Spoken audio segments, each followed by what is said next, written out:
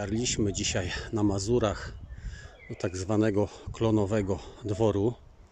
Wyczytaliśmy o informację, że niedaleko naszej miejscowości, około 50 km, leży taki opustoszały dwór.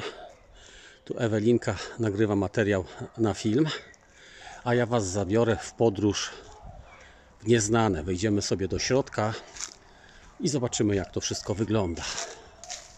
Że wchodzimy, wchodzimy, wchodzimy. Drzwi, zobaczcie, stylowe, piękne, stylizowane okucia. Drzwi zniszczone. Hol, główny hol. Pierwsze wrażenie. Przede mną już widzę zawalony, zawalony strop. Wejście na górę i pomieszczenie po prawej, gdzie jest mało światła, ale też zobaczcie górę. Strop jest zawalony. Za chwilę wejdziemy tam na pierwsze piętro, natomiast zobaczymy, rozejrzymy się, co jest na dole.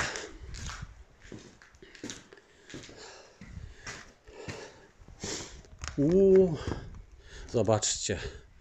Tam było wyjście na ogród, na taras, natomiast pomieszczenie, które nie przedziela, jest zupełnie zawalone. Jest tu pełno gruzu. Strop zawalony. Okna zabite częściowo deskami. Jest tu strasznie niebezpiecznie. Wycofam się stąd. Patrzę pod nogi i przejdziemy do kolejnego pomieszczenia. W którą stronę? My wchodzimy tutaj. Pokażę naszym widzom, jak to wygląda. Prawdopodobnie tu w tym dworku były jakieś biura, bo typowe perelowskie okładziny. Zobaczymy, przejdziemy sobie, co widać przez okno. Kolejne pomieszczenie odpada farba i taki widok o, na zewnątrz. Tu jest Ewelinka. Chyba dookoła te murki były. Tak, Myślę, że tak. Myślę, że tak, wiesz. Teraz idziemy dalej, zabiorę naszych widzów. Ale pokażę Wam jeszcze parapety. Jakie tu były parapety stylowe. Zobaczcie. Iście klimat z PRL-u.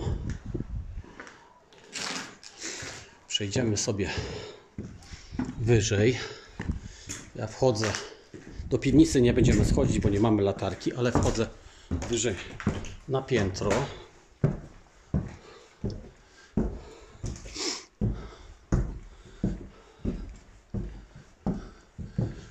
Straszy. Klimat niesamowity. Muszę Wam powiedzieć, że, że jest tutaj taki klimat wilgoci, jakby starych pomieszczeń. Tam jest kondygnacja zawalona. Coś tu Ewelinka ma. Aparat? Nie, to jest od, od bezpiecznika, wiesz? A, ale jak aparat wygląda? No jak aparat, pierwsze spostrzeżenie jak najbardziej, nie? Także sobie przejdziemy tutaj do pomieszczenia. Nasi tu byli, w sensie takim, że widać, że ktoś nawiązuje do działań wojennych i nie lubi Putina.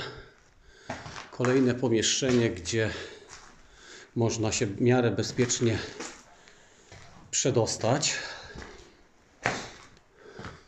Tam zajrzymy jakiś zakamarek.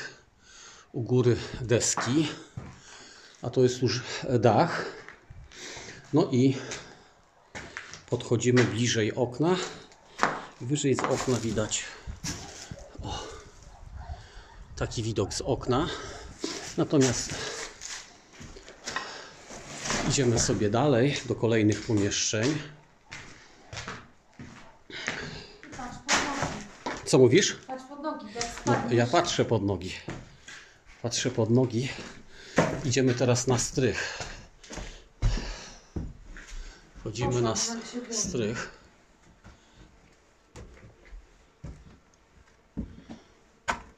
Słychać Pszczoły. pszczoły, osy, szerszenie. Zrobię szybki wgląd, bo żeby mnie tu żadna nie urządliła, tam je widać. Robią kokon w kominie. A pomieszczenie strychowe wygląda w taki sposób. O, drabina, stara komin, poddasze. O, lata, lata, uwaga, leci. Jezu, chodź. No, one są tutaj wściekłe, także spadamy stąd, żeby żadne... Żądnie, o jakieś łóżko tam stoi. A tutaj jakieś stare gazety, tam dalej widać. Jakieś dokumenty, inne rzeczy. A tam już jest wyjście na, na dach. A zobaczcie, tu jeszcze jest jakiś, jakieś łóżko, fragment łóżka. Schodzimy na dół. Wychodzimy sobie na dół. Schodzimy do kolejnych pomieszczeń. Tutaj widzieliście zawalony, zawalony strych, strych mówię, zawaloną kondygnację kolejną. A tutaj jeszcze są inne pomieszczenia. Drzwi. Malutkie pomieszczenie. Dużo plastiku, widać, że ktoś tutaj przychodzi czasami. Komin, komin, komin. rozebrany. Wyjrzymy sobie przez okno. Taki widok przez okno. Do tamtej części też później zajrzymy sobie. I idziemy do drugiego pomieszczenia.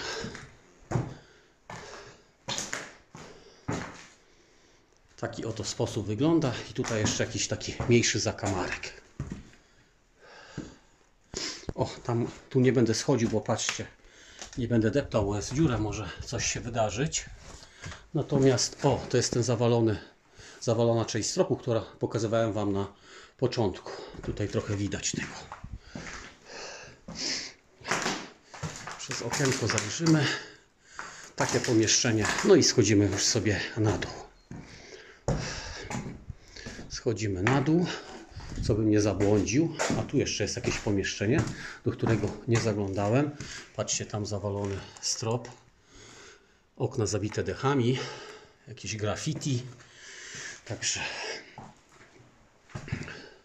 Także schodzimy sobie już na dół, bo się robi niebezpiecznie.